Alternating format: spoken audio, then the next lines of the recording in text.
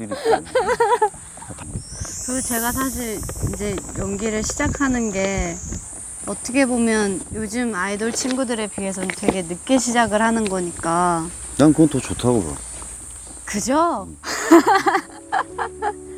어떤 부분이 제일 걱정되는 건데?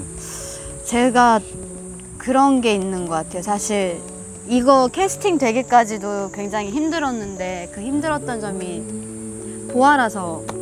싫으시다고. 그건 권보하라고 그래. 아 그거 괜찮다. 연기할 때는 좀 권보하라고. 제가 그래서 되게 작은 역할을 많이 찾았었거든요. 작은데 임팩트 있는 영화나 드라마나. 근데 또 그럴 때는 보아라서 항상 안 되는 거예요. 그러니까 사람들은 가수였고 뭐 아이돌들은 쉽게 쉽게 배역을 따잖아. 그러니까 굉장히 쉽게 얻을 거라고 생각을 많이 하시는데 그렇지 않잖아. 저는 역으로 보아라서 안 된 경우가 그렇겠지. 다반사였거든요.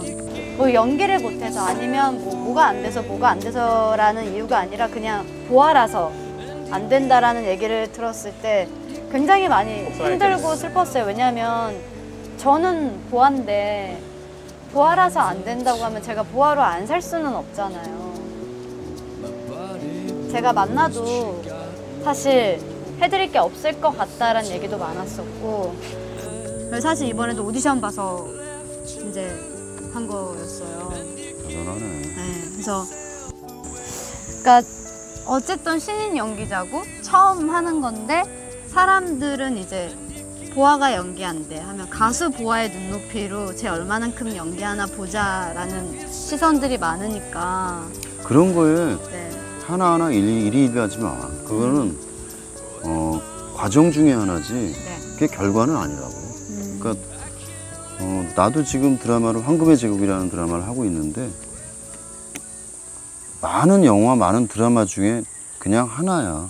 음, 그렇기 때문에 네가 보아가 지금 하는 드라마도 흘러가는 여- 드라마나 영화나 중에 하나는 가고 있는 길을 그냥 가, 가고 있다라고 생각을 하면 돼. 음. 그게 그러니까 사람들의 시선 다 어떻게 볼 것이냐?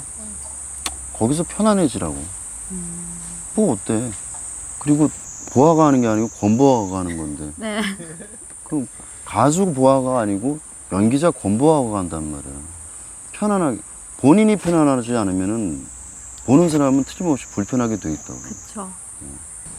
그리고 다 모자라. 나도 연기 뭐, 서, 누 어떤 선배님한테 말씀드려도 다 모자라다 그럴 거야. 그러니까 제일 좋은 방법은 보아가 보아를 믿고 가는, 권보아가 권보아를 믿고 가는 거야. 그리고 빨리 가지 말았으면 좋겠다는 거예요. 후배가 저 내 후배들한테 정말 내가 사랑하는 후배들한테 내가 하고 싶은 얘기는